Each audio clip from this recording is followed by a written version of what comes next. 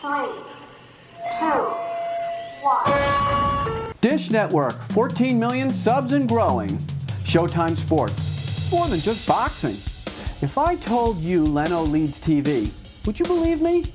Plus, the big picture editorial, Tech Talk, and the Monday Funday TV trivia quiz. It's all ahead on today's edition of the TV News. This is the TV News, the industry's only daily video report, brought to you by American Ingenuity TV. For all of your electronic marketing and creative needs, American Ingenuity TV is simply the solution.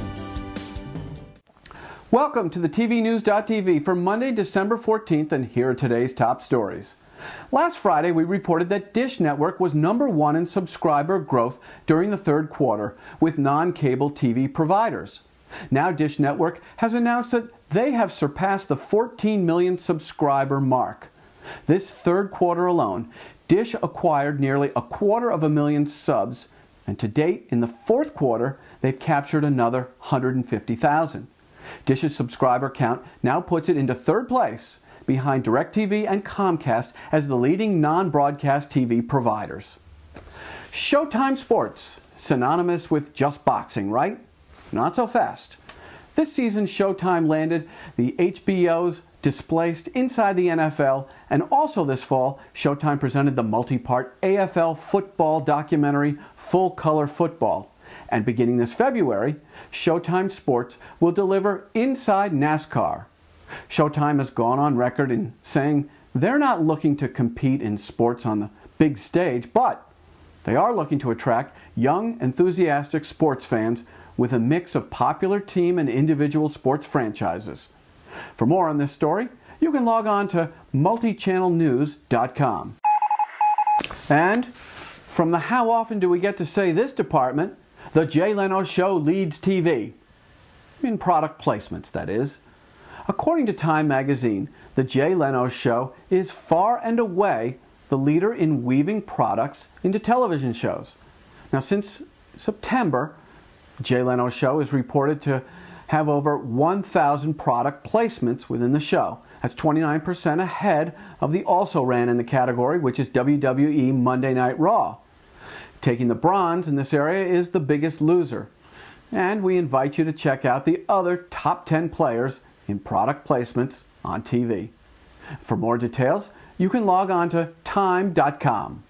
The Big Picture is brought to you by Dude Walker. Get the best voice, get the best price. Get Dude at dudewalker.com. On Mondays, we give you the big picture at the TVNews.tv with analysis and commentary. Let's bow our heads for a moment. We're gathered here to lament the final death knell of the once heralded AOL Time Warner merger.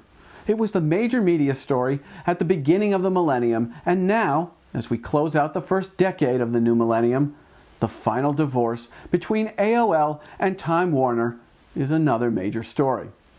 Now, with ailing AOL finally and completely spun off, Time Warner moves on as a pure content company, having also spun off its distribution arm earlier this year. One can't help but think about the immense potential that the AOL Time Warner merger once held and agonize over the unfulfilled promise that this broken partnership leaves behind.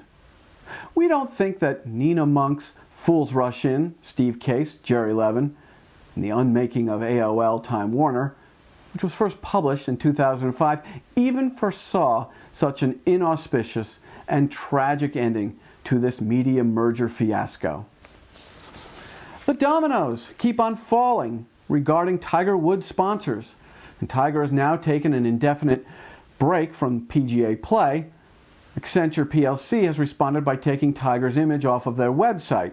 More, Gillette has announced that they will be phasing Tiger out of their print and television advertising for an undetermined amount of time.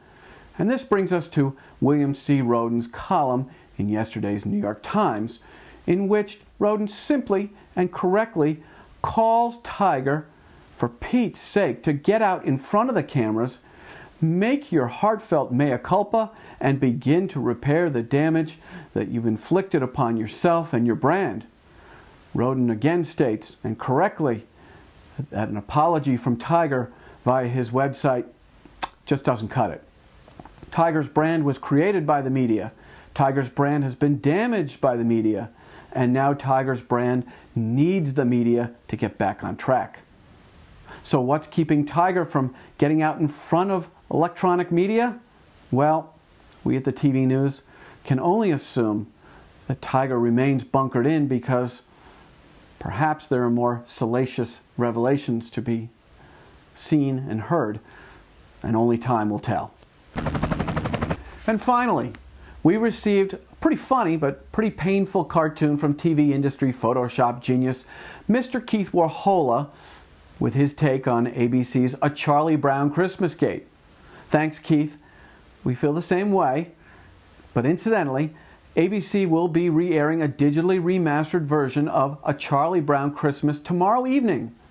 Still no word yet from ABC on the editing configuration. Let's keep our fingers crossed. This exclusive presentation of the TV News is brought to you by Betsy Powell, freelance creative director, copywriter, and producer. Check out her work at www.betsypowell.com.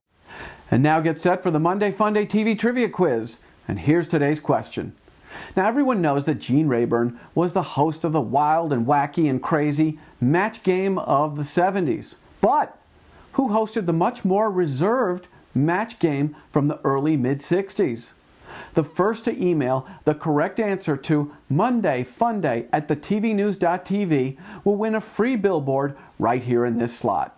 Last week's winner was Eric Adler. He's a multiple winner of Eric Adler Research.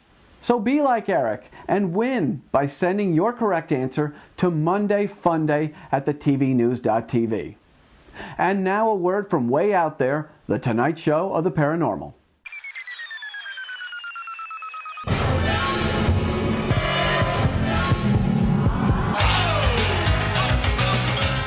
Elvis has reportedly been found dead in the DC used car parking lot. Shut up. I think it's a bunch of bull. Show us the ghost. What's that doing there? Why did we notice it now? You're unbelievable. There was a UFO right there. It's coming right. Coming right now. We're going to report the sighting we just had. Leave a residue? Yeah. You're unbelievable. No anal probes. What's the point of that?